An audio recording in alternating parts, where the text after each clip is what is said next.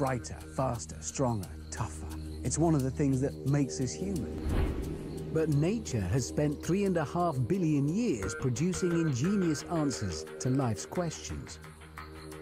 So a lot of the problems we're trying to solve have already been solved by evolution. Meaning the animal kingdom is teeming with bright ideas, like how to hear through solid rock. How to see without using your eyes. This is what we'll all be in. This is the future. And how to feel something that happened 30 seconds earlier. That's astonishing. In this program, we'll reveal some amazing animal abilities. Totally silent. I had no idea she was there. And I'll discover how those same animals have inspired a series of human inventions at the very frontiers of science. Yes! It's gone! We'll have to go around the world and into some pretty unlikely situations. Let's hope they don't confuse this with the female elephant. Because you never quite know what surprises the animal kingdom has in store for you. No! It's all part of the miracle of nature.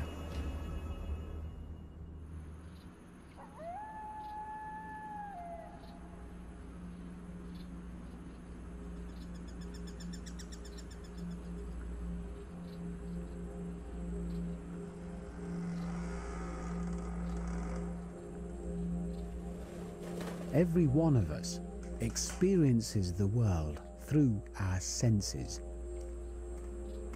But in the animal kingdom, there are creatures with senses that go far beyond ours. As I'd like to show you with this western diamondback rattlesnake. But first, I'll need a bit of stick. Quite a big bit.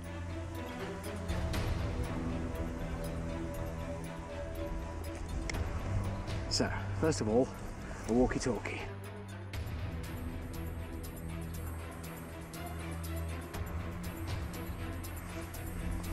There you go. Now, telephone.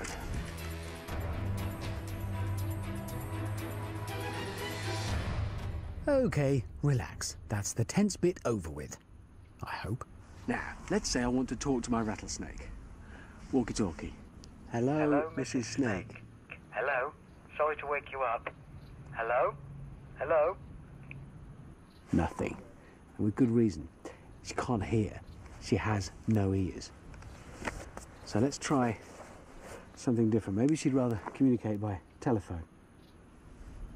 The phone over there is on vibrate and not ring, and that's quite important here.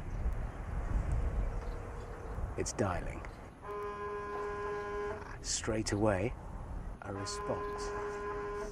Immediately.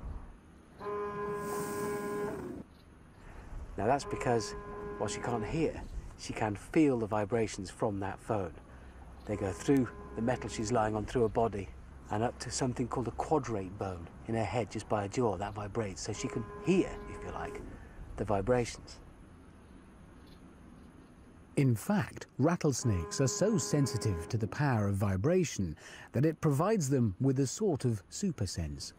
And that is something that takes us to what we're doing next, which is very clever indeed. I need to get my phone back. I...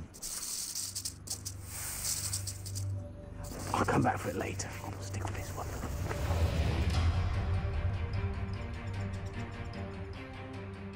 These animal super senses are what this program is all about. Super senses that engineers and scientists are using as inspiration to help improve our own lives.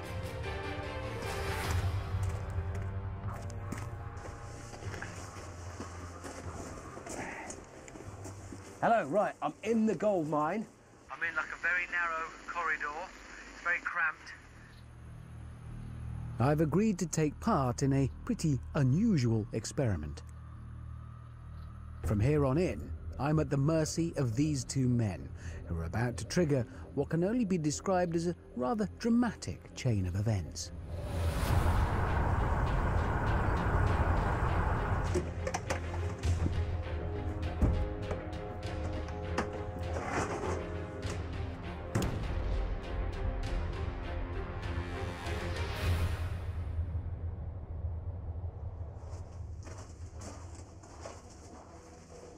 Come to like an old broken. Wooden duck thing. I'm going through. Hello, can you hear me? Hello.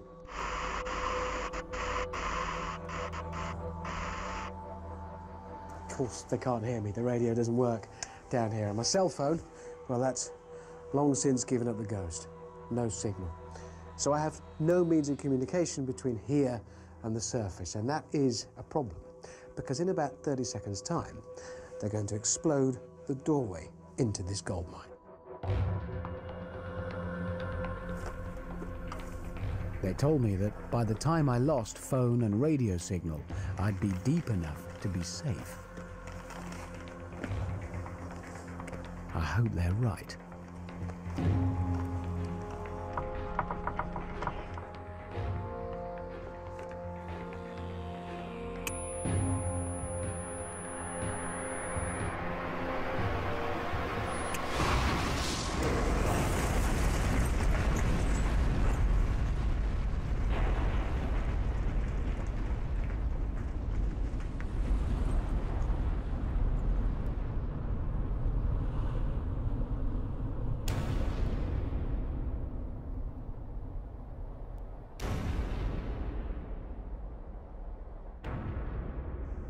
So here's the situation. I am now trapped in the mine. I've got no means of telling anybody on the surface where I am or how I am. The only thing that stands a chance of saving me has its roots on the other side of the planet, in Africa.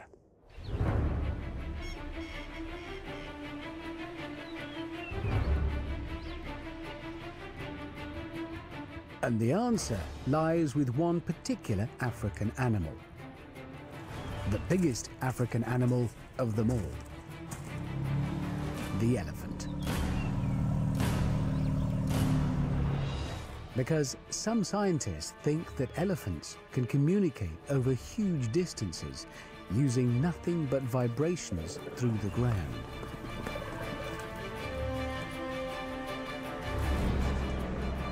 And elephant researcher Dr. Kate Evans has offered to show me how.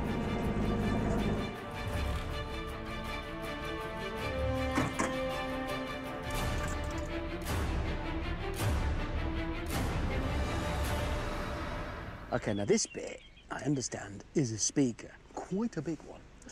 But you're pointing it straight down at the ground. Now, at home for your stereo, that'd be a disaster, but you're doing something different here. Well, what we really want to do is kind of pretend it's an elephant, if you see what I mean. Yes. A very large elephant. You want to come across this one in the wild, that's for sure. Enormous. Obviously, Kate's only building the foot, not the whole elephant. But it will send an elephant signal straight down into the ground. The theory is that the energy passes down into the ground and out. So that's why we want a really good connection with the ground. right, okay. I will hammer. Hammer away. Yes. Nailing the speaker to sand might seem a bit, well, daft, but we do need to get the best connection we can if we're really going to punch out those low frequency vibrations. This is genuinely quite exciting. We even mimic the elephant's weight by piling sandbags on top. With our Elephant Tech transmitter finally complete, Kate and I retreat to a safe distance. this sound, who's saying what in it? We previously recorded a known female. She was going into estrus, which is when females are receptive to mating.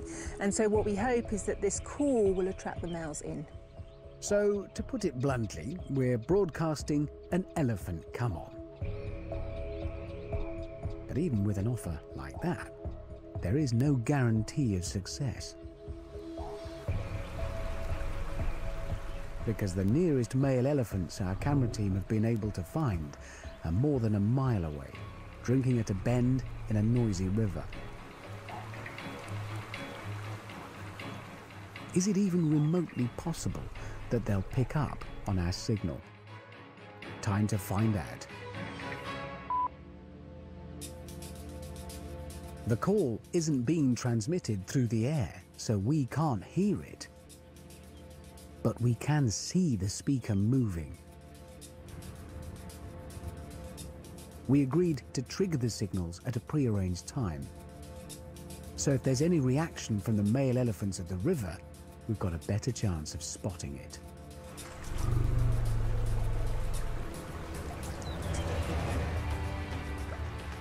Our camera team don't have to wait long.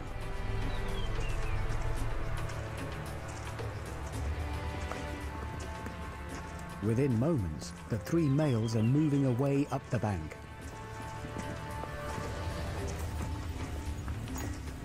Though we've no way of knowing if they're responding to our empty promise of elephant romance. Not unless they come straight to our transmitter, which might create its own problems. They will, after all, be looking for love. Let's hope they don't confuse this with the female elephant because I'm not sure this is going to sustain five tons of weight. Yeah, I mean, it's a nice looking truck, but even so. Ooh, I hadn't said that. Don't want to sit here and wait now. But wait, we must. Because it's going to take those elephants a fair while to get to us through the thick scrub.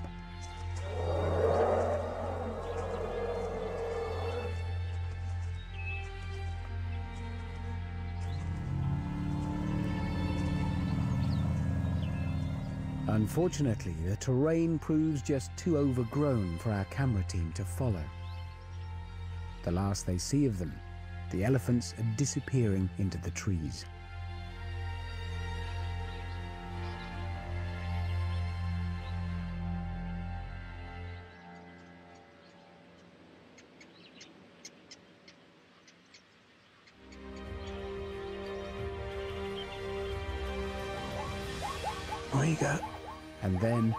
Out of the blue, they appear. There's three. Oh, straightforward. Yeah.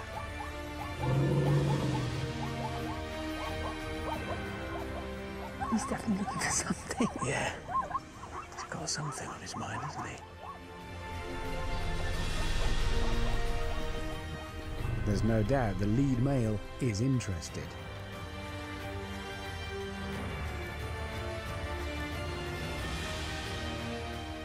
So you can imagine his disappointment when instead of an amorous female, all he finds is a scruffy pile of sacks.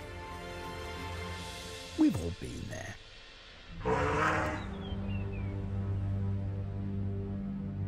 But he has provided pretty compelling evidence of the elephant's ability to do what a rattlesnake does. Here, through the ground. I like to think we just had a bit of a chat. What did we say then? Shot the breeze. I've no idea. No idea. So, with the help of elephants, we've successfully managed to send signals through the earth. But can that elephant technology help rescue me from a Californian gold mine?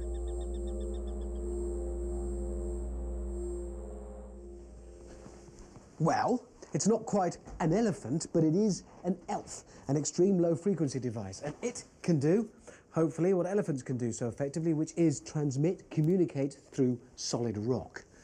Quite a lot of it in this instance. All I've got to do is assemble it. It works in exactly the same way as our artificial elephant's foot. Only this time, the speaker is pointing upwards. This bit here will connect the device with the rock. Obviously, you need me to tell you that people do get trapped in mines for real without the benefit of a TV crew, and more importantly, without the benefit of any means of communicating with the surface, sometimes with terrible consequences.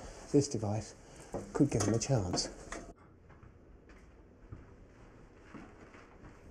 The whole system has been designed so it can run on 12 volts from car batteries, which is pretty handy if you're stuck down a mine like this.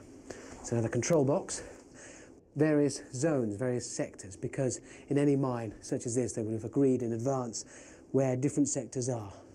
So if I set this into five, that is telling them, and there it goes.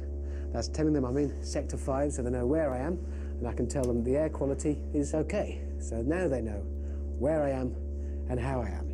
At least I'm telling them because I know the signal is leaving me and going up into the rock. What I've no way of knowing right now is whether or not they're receiving that vital information. In other words, have we the capability to do what the elephant does and pick those vibrations up? 100 feet above me, the Elf's inventors, Jim Squire and Jay Sullivan, believe we have. With the help of this small spiked cylinder. This is the Elf's receiver, relaying any vibrations from below back to Jim and Jay's base unit. All right, let's start acquiring.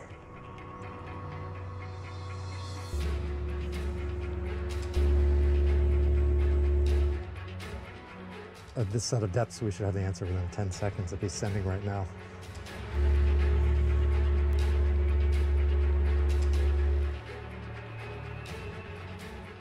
Okay, looks like we're getting a signal now. And, and there it is. Location five, good air. And that's the point at which they'd normally send in the rescue teams.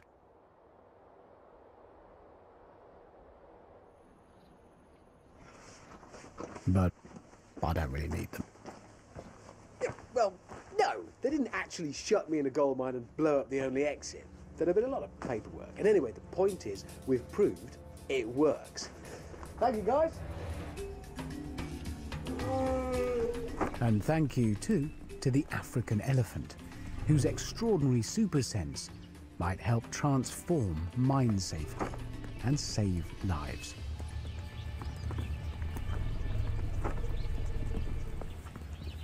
With results like that, it's no surprise that scientists and engineers keep coming back to the natural world for inspiration. And there's plenty to inspire them.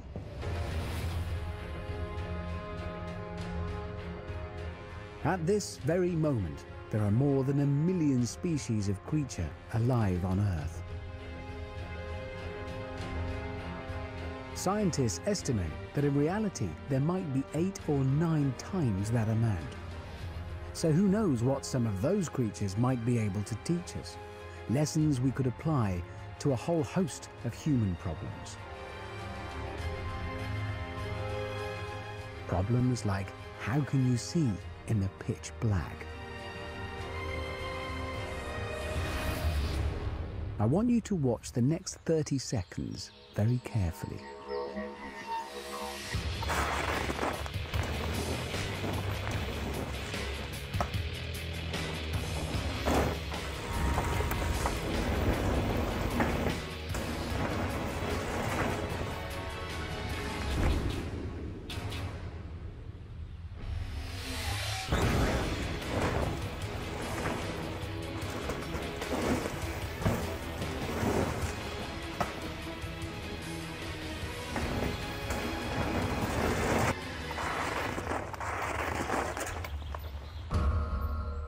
In just a few minutes, a second rider is going to come down this track. Through the same twists and turns. Over the same humps and bumps.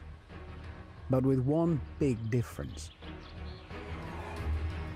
This rider is blind. So how is that possible when practically all he sees around him is black? To find out, we need to start with a creature that spends the majority of its life in permanent darkness. A creature that can navigate its way around these caves and caverns without using a head torch. In fact, without using its eyes at all.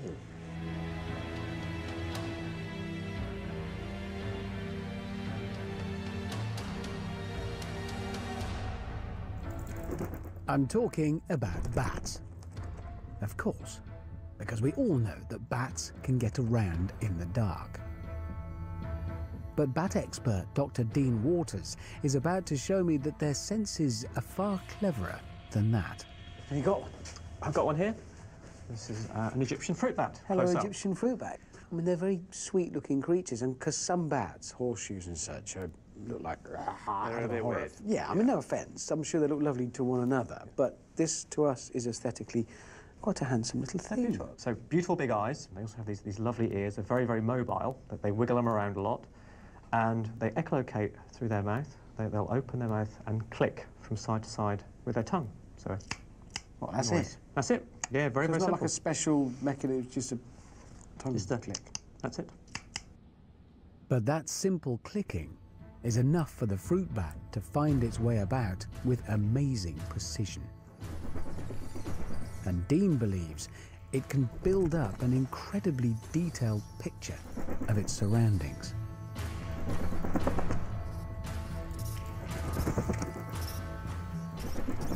But just how accurate is it? Time to put the bat's super sense to the test.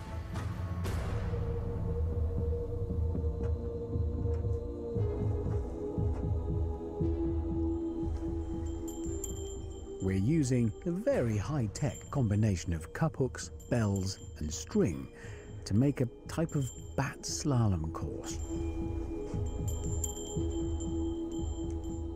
Okay then, Dean. Lights out. Let's see what we got. We got a dark cave, thin strings, and bats. Yep. What are we hoping for? Well, we're looking at how good these bats' echolocation calls are. It's always been described as, as a simple or primitive system. Sounds rubbish. Yeah, I mean, it doesn't sound very impressive. No, but if you look very carefully at the call structure, it's almost exactly the same type of calls that dolphins use. And we know that dolphins are very, very good echolocators. So what we're hoping for then is they dodge the strings, and we'll know if they hit them because of the bells. Yep, absolutely. See? Right. but we really haven't made it easy for them. The strings are less than a centimetre wide, and the gaps between them are much narrower than the bat's two foot wingspan.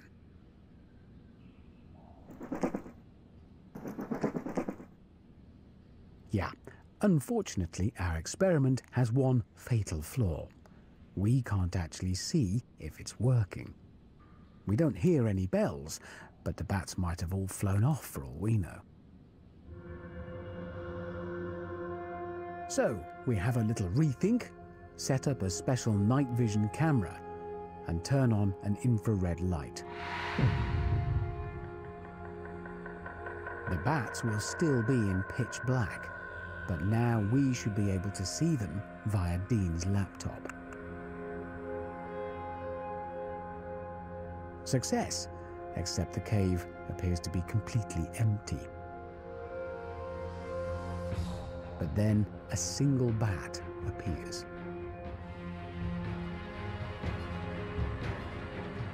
And what he does next is remarkable.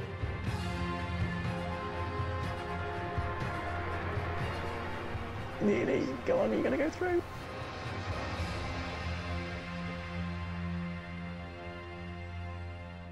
Oh, that's perfect. No, that's absolutely perfect. So that was, it was bringing his wings in. He knew that we'd decide exactly where they were. Mm. Right, so again. Here comes one now. So this supposedly primitive system is capable of picking up even the slightest of obstacles so accurately that the bats don't even bother pulling their wing in till the last possible moment.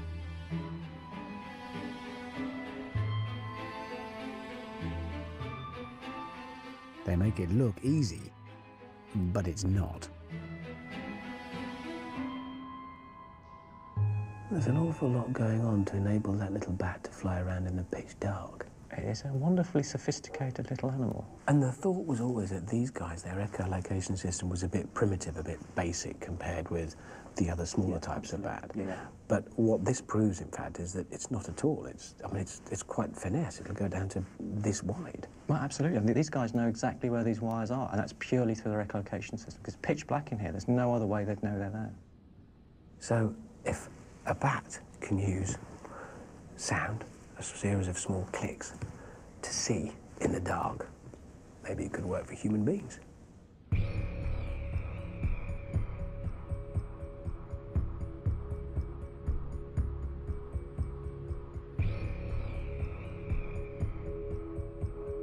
This man, Professor Brian Hoyle, believes he's found a way to do just that by putting bat tech in a stick. So this isn't just a bit like the way a bat works. This is echolocated. It's very, very similar indeed. Over to you. Right, so... Uh, oh, it's, it's beeping at me. That was you. It was me. It's found yes, you. felt me. Look at yes, that. And I'm if I move it Yeah. off, it stops. I'm going to go behind you so I can see what's I, going I on. I felt you walk through. So what I'm doing now is this is sending out a noise, the same as a bat does, and then listening for it bouncing back, echoing back off objects, which is exactly what our bats did. It then tells me by buzzing Absolutely. on this, and you can feel it in my thumb. So if I walk towards that, oh, ah, it's found something. Just take it slowly. It's buzzing through my thumb. Ah, But good. if I move off, Yep. it's not. Great. So it's telling me there's an object So to you my found left. a safe path to the right. and there's nothing to my right. Nothing. Nothing. Oh, there's a sudden buzz at my. Th- now, if I move off to the right, nothing. To the left, something. To the right, nothing. So I, I would know I'm okay going this way. And it gets faster as you get closer to it. It buzzes through your thumb more quickly. That's great. Absolutely. Well, you don't need me to tell you, Brian, that your invention works because it, it, it does. Fantastic. Great. Bring on the blindfold. Let's give this a proper go. Right, let's see if I can pick up in a matter of minutes what it's taken the fruit bat millions of years to perfect.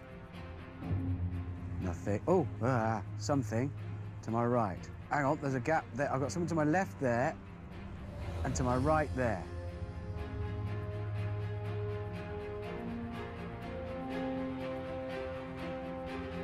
Picked up something then. Oh, ah. That's a mannequin, isn't it?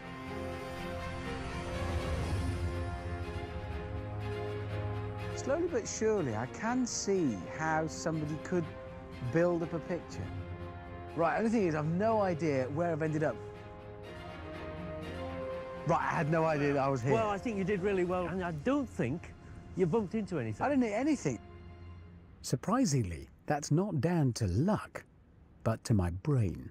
And what you're doing then is this information goes into your brain Yes. and it's processed through the same part of your brain that actually processes sight. it It's- Which means when we talk about using this to see, as far as your brain's concerned, you really are. You're building up the picture in the I same place. You're seeing. I, if we think it's the brain that sees, not the eyes, Yeah. then you're seeing. Right. Yeah. And that's the remarkable thing. Our brains can adjust astoundingly quickly to using our senses in a completely different way.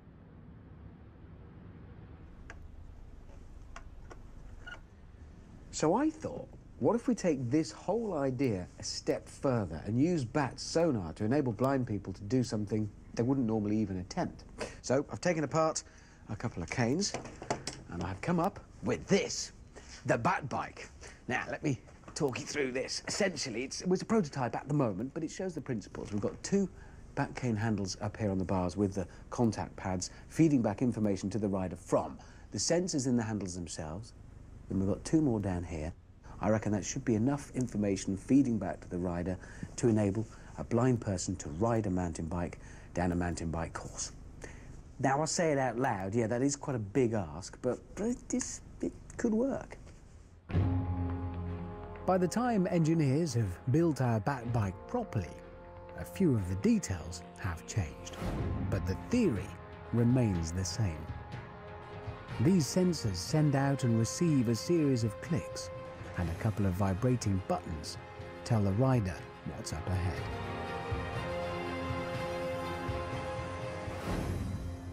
But now it's actually come to it, I'm not sure who's more nervous, me or 21 year old Dan Smith, who actually has to ride this thing.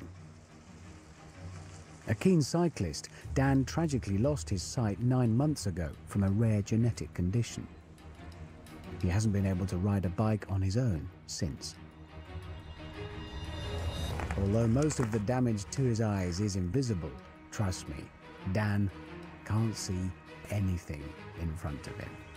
Five, four, three, two, one, go.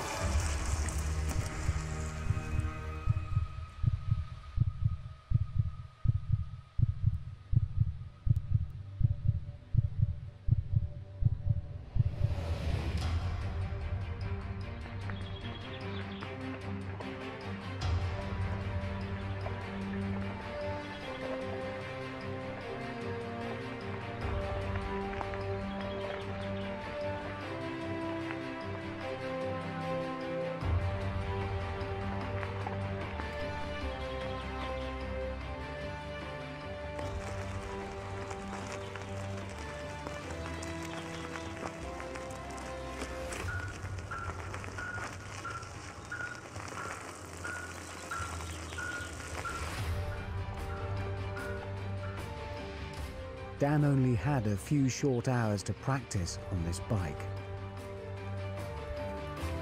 But bat technology is allowing his brain to see the course.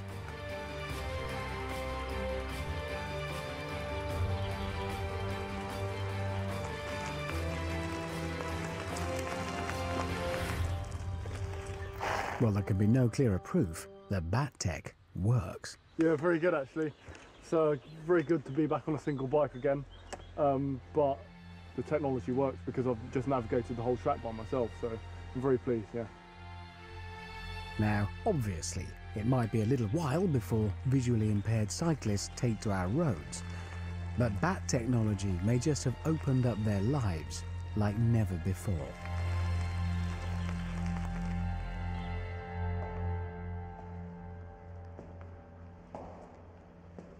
Super senses don't just sound cool, they're really useful. It's a huge advantage to an animal to be able to see more clearly or hear more clearly. But what if you're on the receiving end? What if you're an animal that doesn't want to be seen or heard? Well, evolution can provide an answer to that too.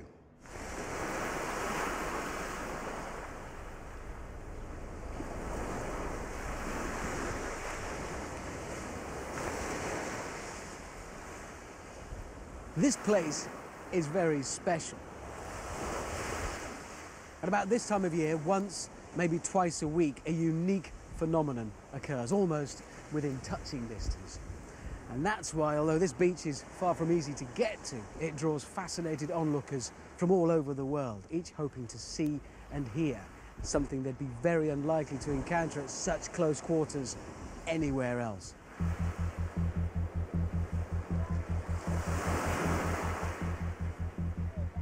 And it's something that's going to happen any moment now. All we can do is watch and wait.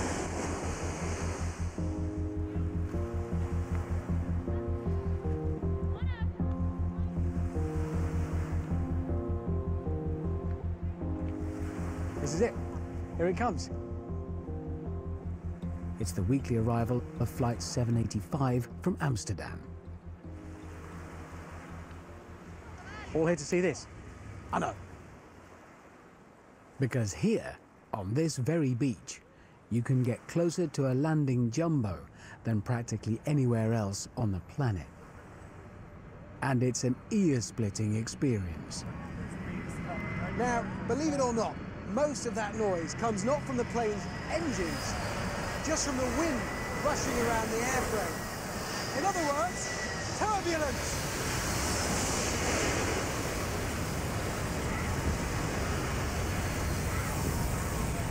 A lot of it.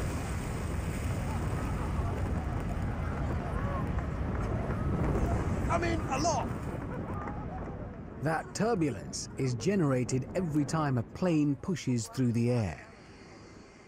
But surely, there has to be a quieter way to fly.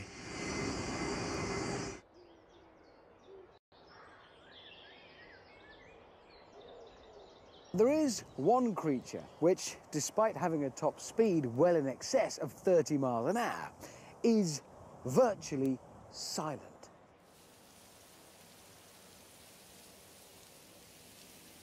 Somewhere around here is one of those creatures that's been specially trained to go into a hunting mode when they hear this noise that's coming from that beeper down there being operated by this button in my hand. So here's the setup. I'm going to lie down here with the beeper hidden next to my head and sound it.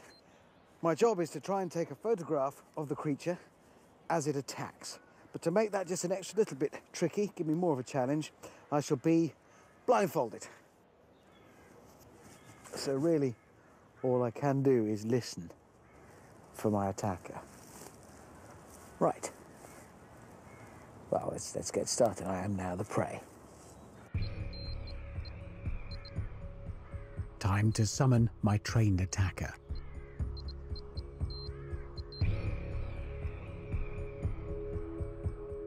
It's surprisingly tense. If the creature appears, I've got nothing but my ears to warn me of its approach.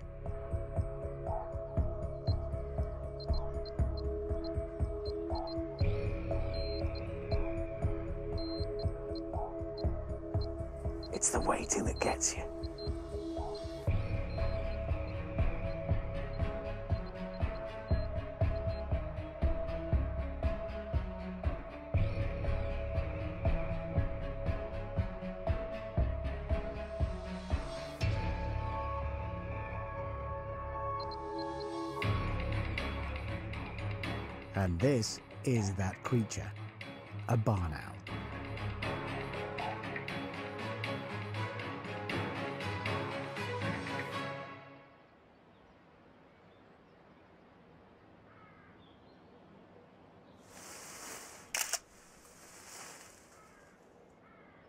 Wow, that was genuinely amazing. When somebody tells you something like a barn owl can fly silently, I generally take it with a pinch of salt, but trust me, they can. I had no idea she was there until she hit the ground. Totally silent. And owls need to be. Take this tawny owl, for instance.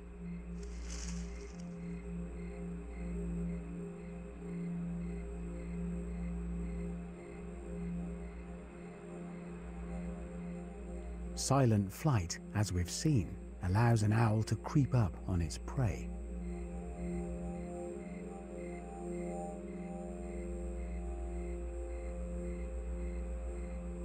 But it also means that their wings can operate quietly enough that they can hear that prey over their own flapping.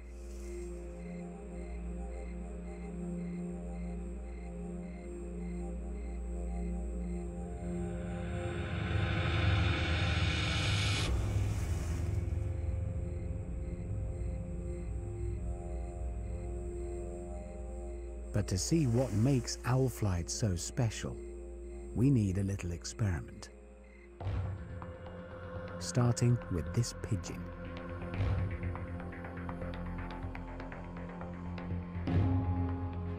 Just watch what happens when it flies across a bed of feathers.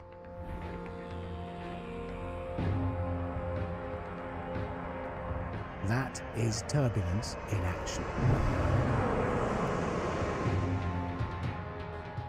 Here's an owl attempting the same thing.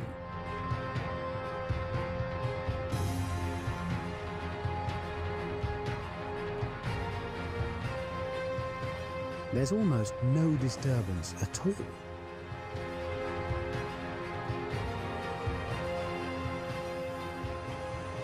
But how on earth is it doing it?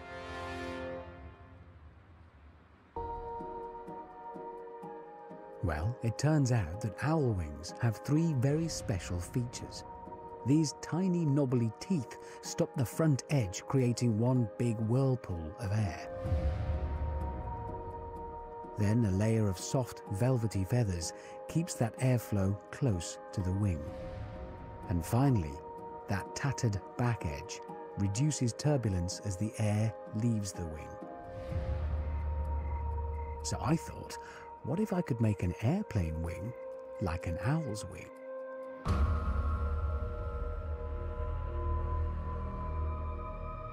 Unfortunately, I could only find one place willing to let me have a go an airplane graveyard. I've had to improvise a bit with materials and such, but that's how it is with science. And here it is. It's got everything. The egg boxes give the leading edge that knobbly profile to break up the airflow into smaller vortices. The carpet, the texture, breaks up the huge bubble of disturbed air and reduces noise. And the trailing edge is serrated, and that cuts down on noise as well. So, why don't all aeroplane wings look like this? Well, it turns out it's not that simple. The problem is one of scale. That amount of egg boxes and carpet would just slow the plane down too much. And the serrated lino would apparently get in the way of the flaps they use for braking.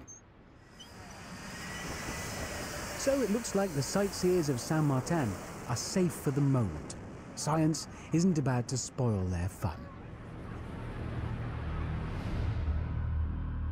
But all is not lost.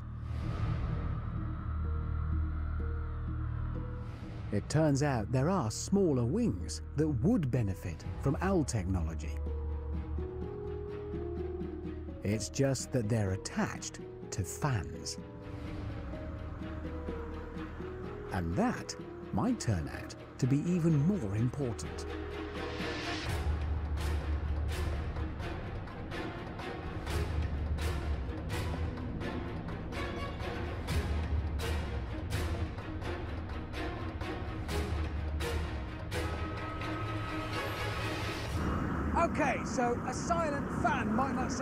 Exciting as a huge, furry aircraft wing. But bear with me, because silent fans will make a bigger difference than you might think. Imagine silent computers, silent hairdryers, silent vacuum cleaners, silent wind farms, silent air conditioning. Because all those fans suffer the same sort of problems with turbulence that planes do. So, the inventors of this fan have used Owltech to break up that turbulence by adding serrations to the back edge. And the result is a fan that is very, very quiet indeed. No matter how hard you listen.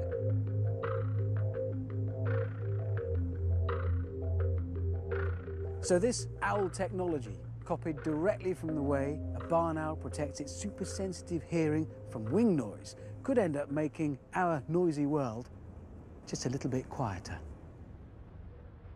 At least until the next plane comes along.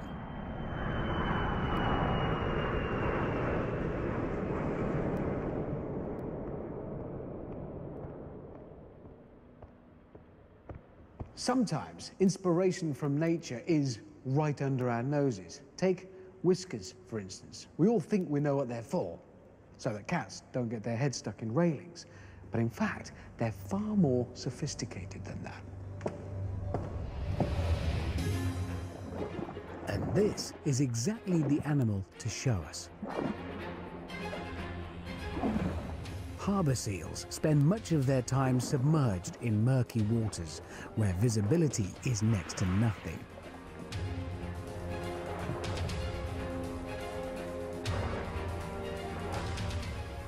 And yet, they're still able to hunt fast-moving fish with frightening accuracy. Well, believe it or not, they're finding them with their whiskers.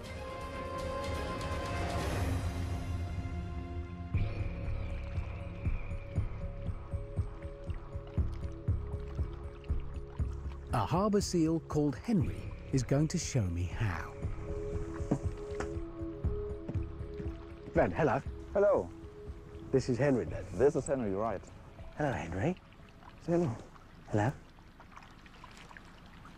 So these whiskers, I don't want to touch them because they're so sensitive. Are they very delicate if I touch them? Are they? Yeah, you can touch them. I don't want, to, but can know that these are serious instruments, aren't they? What can he do with them? Oh, they can use them um, similar to us with our hands. So they know your fist is smaller than my fist, for example. Well, he can tell that this is a smaller hand than yours with his whiskers. Yeah. Now, normally I wouldn't advise you to do this. Seals are quite bitey. But Henry is a particularly accommodating harbour seal. He works hand in flipper with Dr. Sven Wieskotten. And when he's doing this work with you, why is he willing to be trained and to work with you like Oh, this? that's, that's easy. Yeah, he does like a fish, doesn't he? He does like the fish. So this whole array of whiskers around his snout here, Yeah. that's another sense. That's another sense. So they don't have hands like us. Goodbye. Goodbye, Henry. Go have a splash. He got bored, I think. But Henry's whiskers are useful for much more than a game of guess the size of the presenter's hand, as Sven is about to show me. All we need is a remote control submarine, a friendly seal, and a blindfold. How are you going to put a blindfold on a seal? oh, that's easy. We trained this and now he's jumping through the mast. No, he's not. He jumps through it. That's astonishing. Having jumped into his blindfold, Henry obligingly moves into his starting position. Sven puts headphones over his ears and plays him pink noise. A sort of audio static which drowns out any sound from the outside world. So Henry can't see, and as long as those headphones are on, he can't hear. Okay, so when you say go, I go. Okay, Gil. Go. My job is to control the model submarine. I can send it anywhere in the pool, and Henry knows that if he finds it, he'll get a fish. But he'll only get the chance to start his search when I've stopped the sub completely, so there's no motor noise or splashing to help him locate it. Okay, Henry, do your stuff.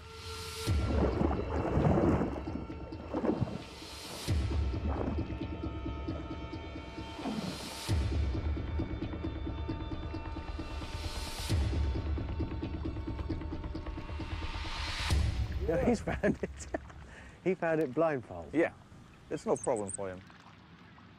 In fact, because he's blindfolded, it's only the sound of Sven splashing that enables him to find his way back to us. He's not using his eyes, he can't. There's nothing to hear because it's not running anymore, I've stopped Yeah. it. That's astonishing. And it looks like Henry wants to play again.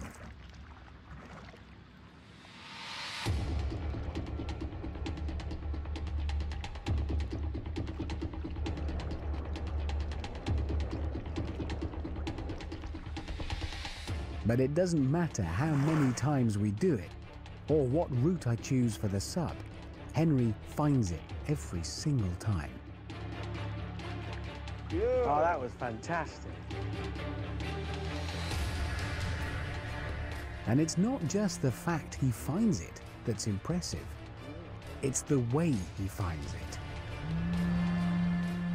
He swims the exact same route as the sub.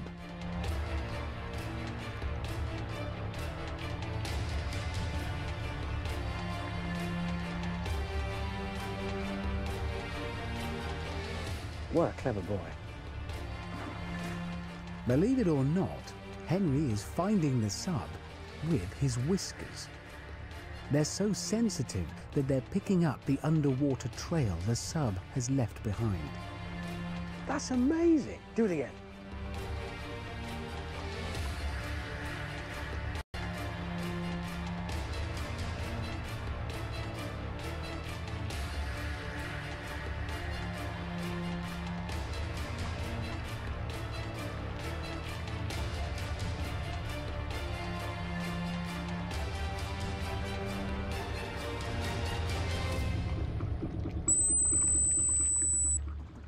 And he swam the exact trail of, of where it had been. That's astonishing. So astonishing that Sven has to prove to me that it's really Henry's whiskers that are doing the work. In this small tank, the water is almost completely still, allowing the researchers to generate tiny, precise eddies coloured with green ink.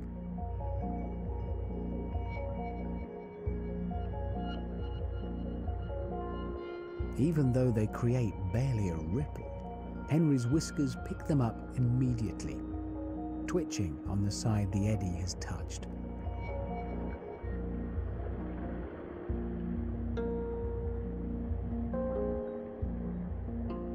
Which, I have to admit, is fairly convincing.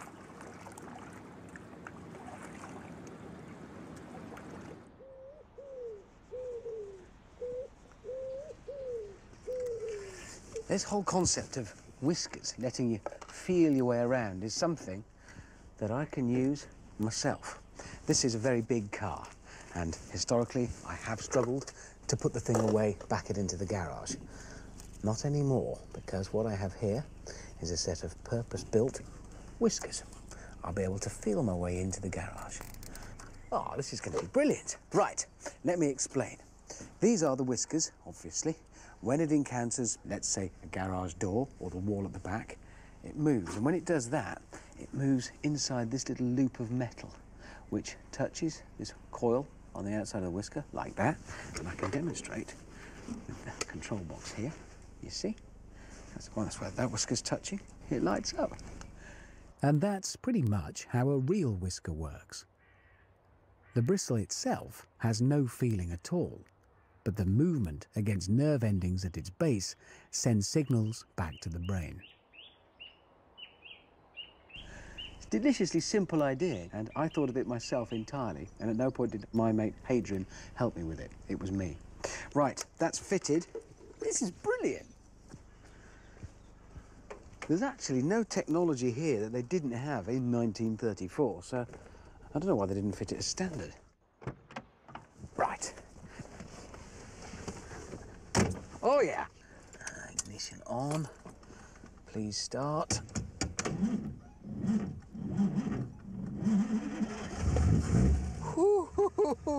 Right. Slightly scared all of a sudden. It's at this point you should probably know that this car used to drive the Queen Mum about, and it's actually worth quite a bit. Oh, hang on, I've got a contact there. So that tells me I have to move a bit further that way.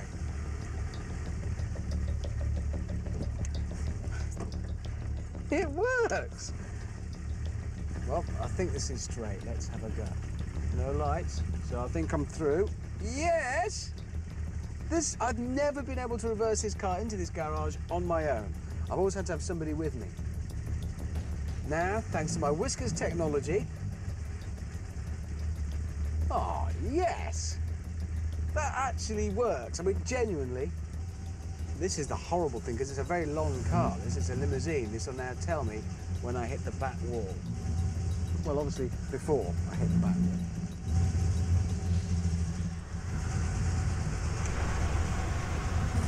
Whoa, there we go. I'm in. it turns out that if you scale that exact same idea up quite a lot, you end up with something pretty cool.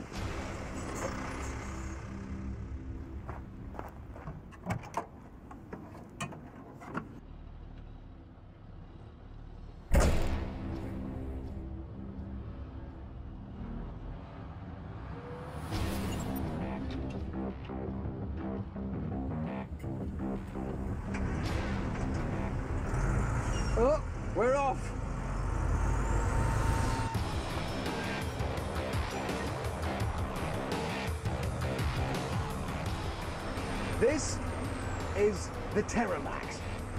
It's a 10-ton, six-wheel drive military truck. There's nobody in here but me, and I'm not driving. Yeah, it's driving itself. And it really is. It's not remote controlled. It's not some glorified form of sat-nav. And there's no hidden driver. Which begs the question, how can it see where it's going?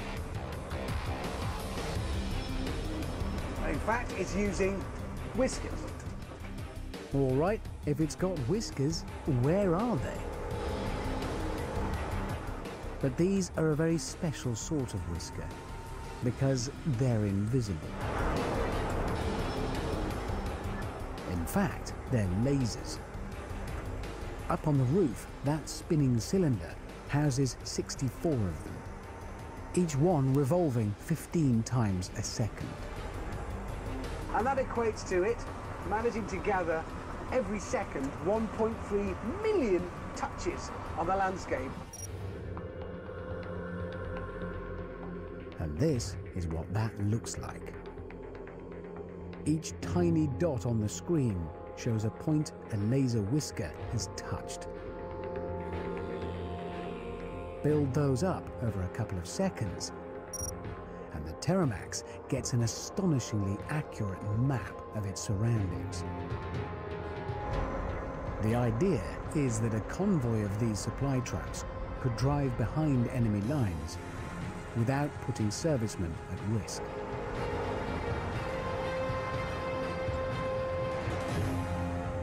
But what would happen if they came upon something unexpected? Something like this. 12 concrete-filled bollards.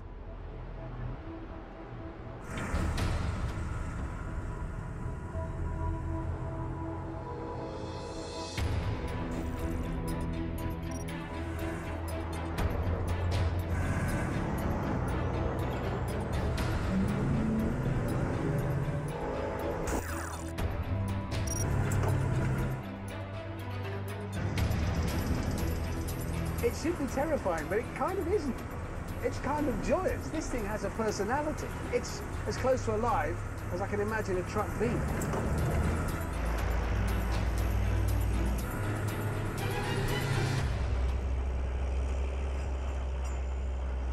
So how good are these things going to get? When will it end? When will we reach a point when somebody will say to you, what? You're not driving yourself? I mean, why would you do that? It's dangerous and irresponsible. This is the future.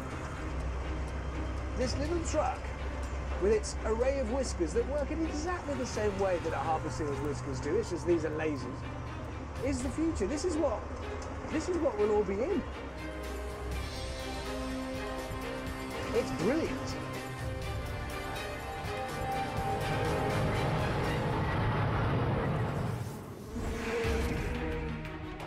Time on Miracles of Nature, I'll be looking at animal superpowers.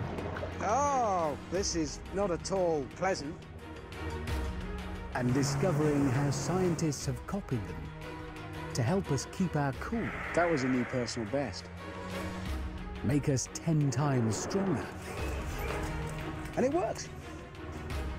And turn invisible. That is astonishing.